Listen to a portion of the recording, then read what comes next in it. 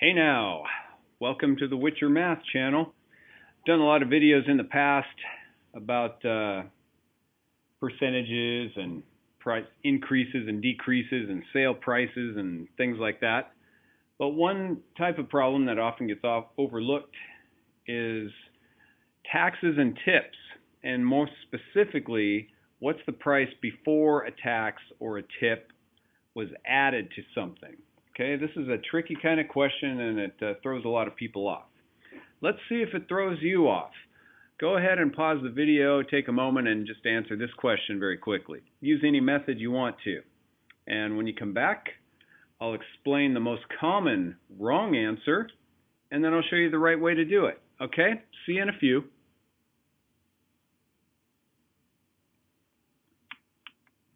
Welcome back. Hope that was uh, fun for you. You took your time and were careful about it.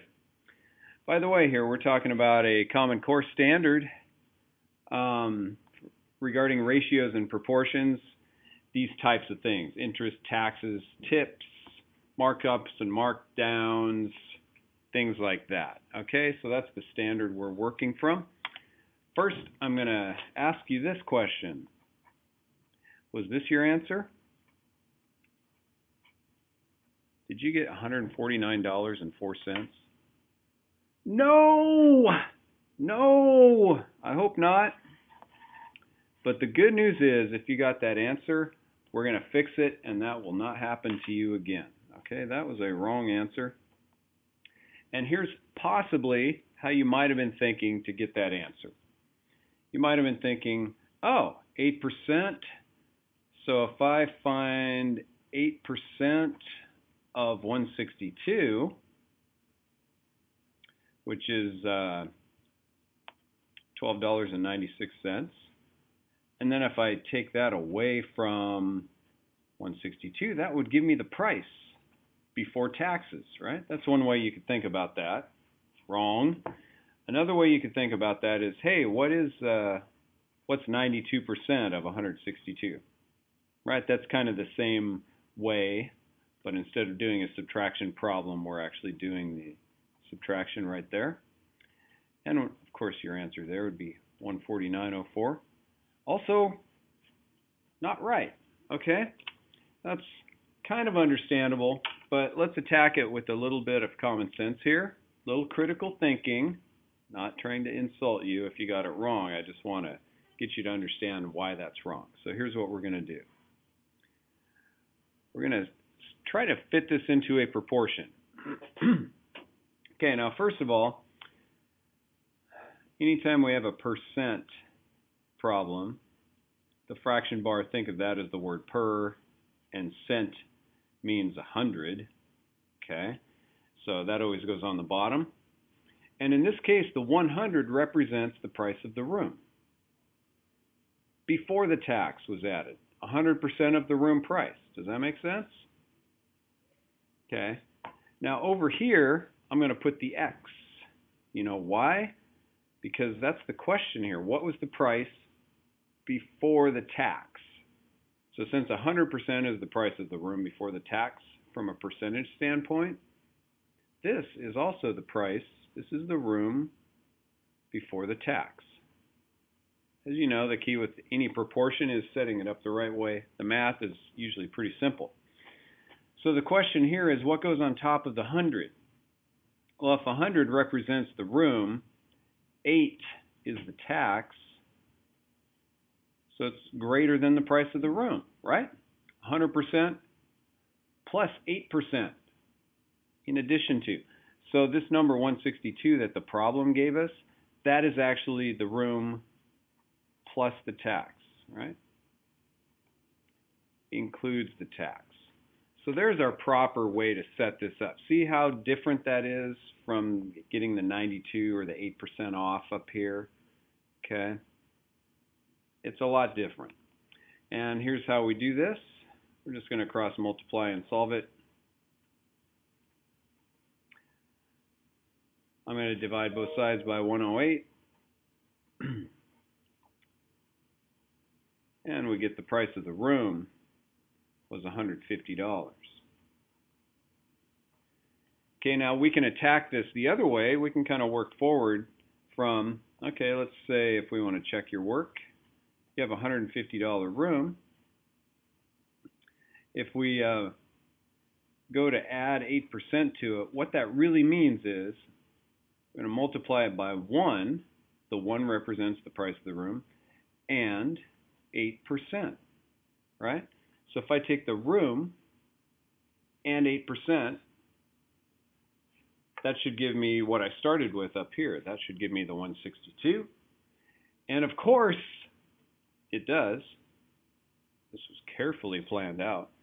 There we go. So the difference, although from a dollar standpoint, not a lot of difference between the right answer and the wrong answer, but if you're taking one of those multiple choice tests, which we all love so much, and your first choice was 149.04, and you picked that, oh, that's going to leave a mark, okay? So always apply critical thinking. I'm going to give you a chance to do that right now with another sample problem, the same type of problem though. Ready? Good, here we go. Hank the Tank, he just spent $69 at his favorite restaurant, which includes the tip of 15%. How much was the bill before the tip was added? Go ahead and pause it, work this out, and see if you can apply critical thinking here and do this one the right way. See you in a few minutes.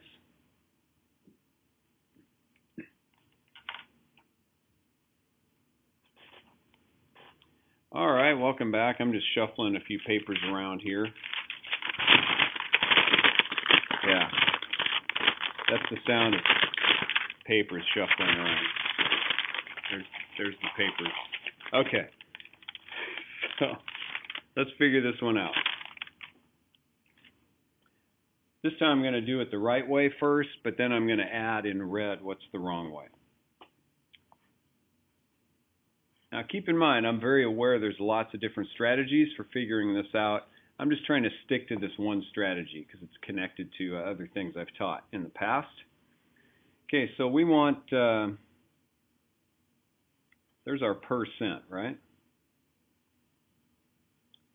This $69 is the price, this is the check.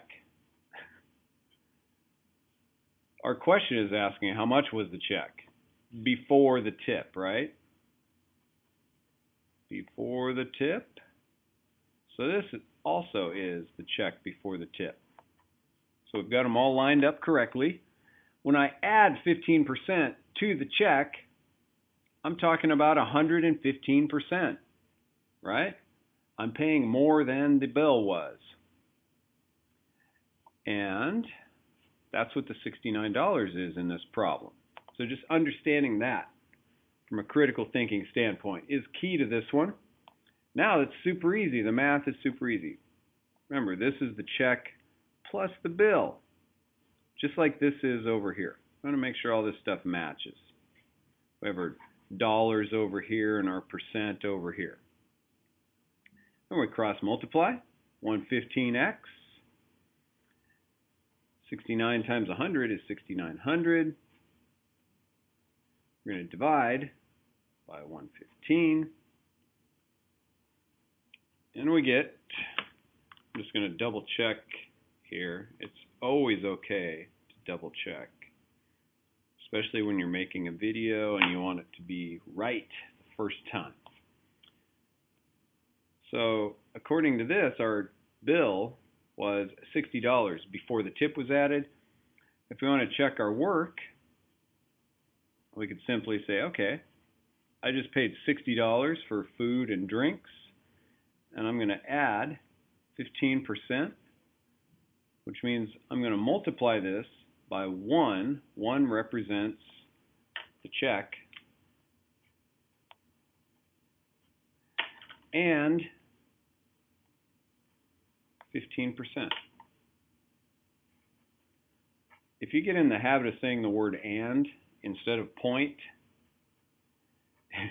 you'll just be a much better person. there we go. The word and. Yeah. And when you multiply 60 by 1 and 15% or 15 hundredths, we get $69 and that checks out. Now here's a common mistake people make if you want to hang in there till the end here, especially if you did not get $60. If you got $58.65, you are the victim of the common mistake on these problems. Okay? Which is, you would have said, oh, I'm going to take 15% of $69, which is $10.35, and then subtract it. You get 58.65. Kind of seems like it's all right, but it's not. It's not. Because if you do this, then what you're really saying is 69 was only 85% of the check. Okay? The bell's ringing. I'm going to have to get rolling here. So there's your mistake. There's the right answer, $60. And thanks for watching so much. Thank you so much, and uh, stay tuned for more videos. Leave a comment if you have an idea for my next video.